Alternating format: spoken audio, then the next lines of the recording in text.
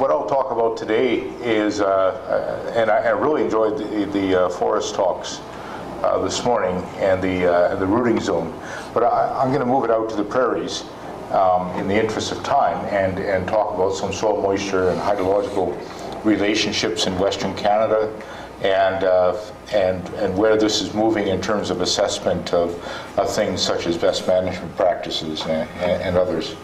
So the, right there's the laser.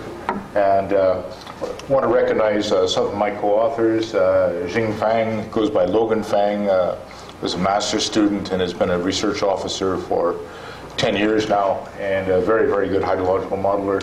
Uh, Taufique Mahmood, uh, another hydrological modeler working on BMPs in Manitoba.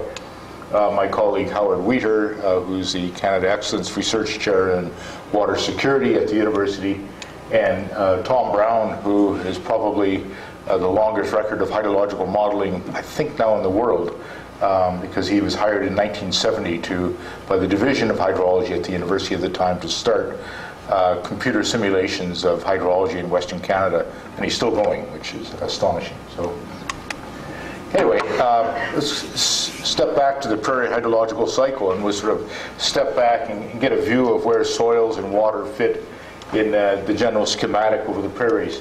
And so, of course, we have the atmosphere up on top, uh, radiation, uh, long and short wave coming in. But the, uh, uh, some very distinctive uh, prairie precipitation systems that are of great interest to us. And the, the, the, the one is the, the and this is associated with the climate systems. The one being the very long winter, the dominance of snow over that period of time. Snowfall as a proportion of total precip is not that high. It's uh, anywhere from 20 to 35 percent over the prairies, yet it's very effective in generating runoff. In the summertime, the uh, precip that we think uh, that we find tends to be very interesting are uh, intense rainstorms from convective systems, the classic prairie thunderstorms, and, and these can have a tremendous impact at small scales. But they don't tend to drive the uh, hydrology at larger scales. They're too small to uh, to affect the large river basins like the Red Deer or the uh, the Peace. And, uh, and so it's the frontal systems uh, which uh, may have scales of hundreds of kilometers of rain and persistence over several days that are more hydrologically interesting for us. Now, when you get into the surface, um, we've got the long winter, redistribution of snow by wind, very cold snowpacks, um, you know, mid-central Saskatchewan prairies on a cold winter's day in January. You can't distinguish the climate too much from that of the Arctic on a particular day. In fact, Saskatoon was colder than Iqaluit uh, in Baffin Island yesterday. So, the, uh, so we have this uh, sort of semi-Arctic condition for a few weeks or months in the winter, uh, and then snowmelt. But the, uh, uh, the cold has affected the prairies in many ways, and one was glaciation. And the the landscape itself has not primarily been formed by fluvial erosion, by erosion from uh, dendritic networks of, of streams. Uh, a lot of the landscape is formed by the deposits of ice and moraine till in the glaciers. And where there were uh, large ice deposits, uh, we now have internally drained wetlands um, in uh, the knob and kettle terrain or prairie pothole region uh, with uh, no natural outflow in terms of stream flow. And then we'll have larger lakes. Um, of course, we cultivate large areas of it. And another legacy of the glaciers is uh, what we tend to call uh, the glacial till. It tends to be heavy clay layer. It's effectively an aquitard on, uh, on any confined aquifers below it. But it means that very often our agricultural soils are perched on what is effectively an impermeable layer. And th- this has tremendous implications for us because uh, it means that we generally don't have uh, uh, high levels of groundwater recharge. Irrigation of groundwaters is effectively not an option for us, as it is in many other agricultural areas. We'll never have an Ogallala aquifer problem here because we, we can't use that sort of water. The, uh, the aquifers which are there are very deep. They tend to be uh, uh, very high in dissolved solids and uh, barely potable in some cases, and certainly not usable for irrigation. Um, we still do manage to get rivers to discharge off the region, though many of them, like the Saskatchewan River system, are essentially exotic in the same sense of the Nile, in that they receive very small parts of their runoff and discharge as they cross the prairies. The uh, South Saskatchewan River at Saskatoon, 1% of its flow comes from the province of Saskatchewan. So 99% is coming from Alberta, and most of that is actually uh, the mountains and foothills. Nevertheless, there are prairie uh, rivers that are substantive, and uh, as you, particularly as we move north into the parkland region, the Assiniboine, uh, the Battle, and as we move north to North Saskatchewan, there are more reasonable inputs from the prairie landscape. So this is a, a, very different rendition of the hydrological cycle than you're going to see in most textbooks. And uh, there's an awful lot of vertical transfer going on in here of uh, precip, large amounts of evapotranspiration coming back up, uh, particularly in the summertime in the prairies. Uh, uh the evapotranspiration is closely, closely coupled with the rainfall inputs. But then the seasonality of uh, very strong snow inputs in the spring, uh, which governs the, the system.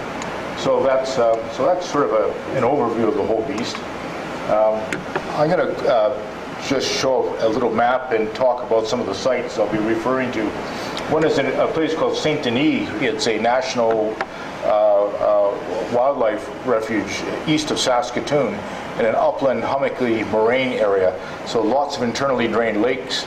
Uh, internally drained lakes, we call them sloughs. The, uh, it's been cultivated and there's a transition going on to uh, forage grassland in the area right now. But it's been the subject of intensive study for a number of decades. Uh, the other is the uh, Bad Lake Research Basin that was instrumented in the 1960s by the University of Saskatchewan under the International Hydrological Decade. And uh, very intense observations there through the 60s, 70s, and 80s. It was shut down at that point, but still was a wonderful archive of observations uh, for us to go through. And it's in a more of a semi-arid part of the prairies. So not many trees in that area, short grasses, uh, still cultivated to a large degree, and another internally drained uh, lake. And then I'll make some reference to uh, measurements collected by Larry Flanagan at the Lethbridge Flux Tower site, a AmeriFlux site, uh, uh, which is an extremely uh, dry, semi-arid environment. And then later on we'll go to Manitoba, but I won't show it yet.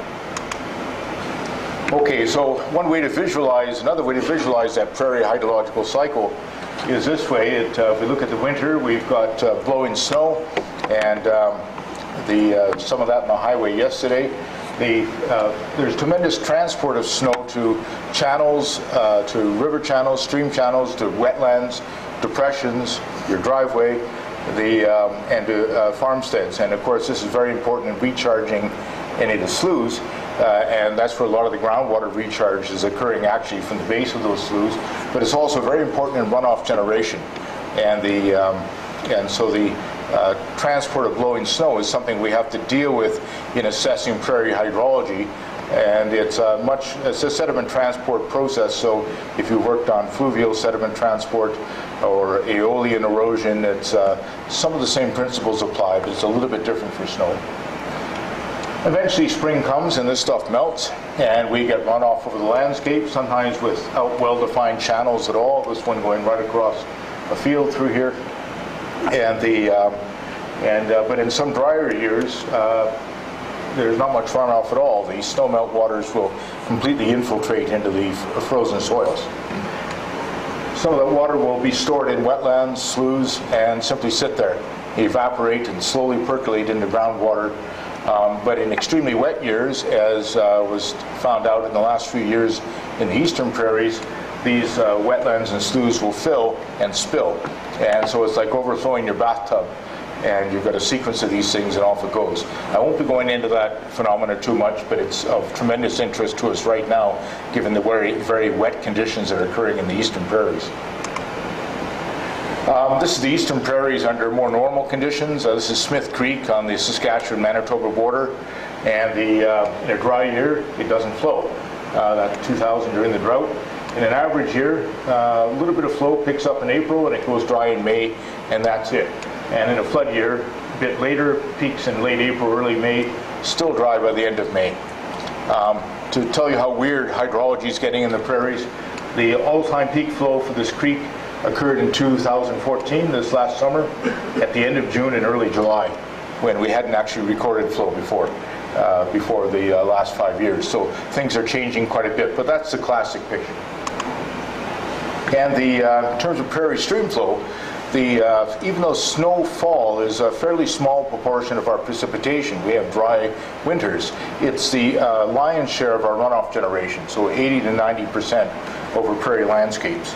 Is that because there's something special about snowmelt? Not particularly. Snow doesn't melt very fast compared to how quickly rain can fall on a landscape.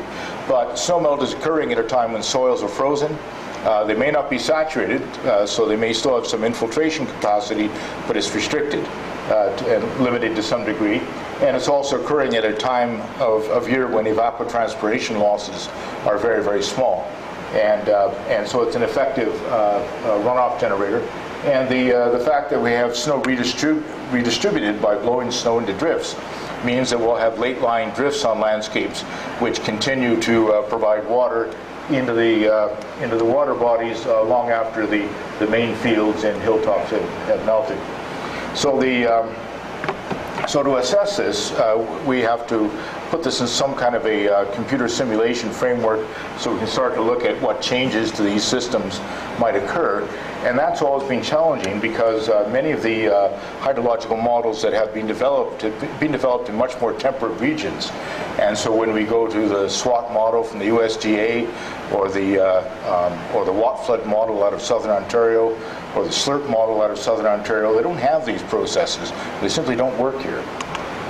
So when we start to model prairie hydrology, we need to go back to the basic physics and the interaction of that physics with the soil properties, with the vegetation, landscape properties, and such, such a way that we can assess impacts of changing climate, land use, and uh, drainage. And that, that means we've got to incorporate these key processes, snow redistribution, frozen ground, spring runoff, wetland fill and spill, and the variable contributing area that results from all of that. And uh, then we have this problem that um, uh, uh, my supervisor, Don Gray, used to call the prairies the graveyard of hydrological models. Uh, that first computer that Tom Brown worked with in 1970 was porting up an American hydrological model from apparently we're the first place outside of Washington, D.C. to run it, and it failed spectacularly in the prairies, hence the long-term research program. So we've had to work uh, towards developing something different. About uh, 16 years ago, we started developing an object-oriented modeling system called, which we call CRHM. It's the Cold Regions Hydrological Modeling Platform.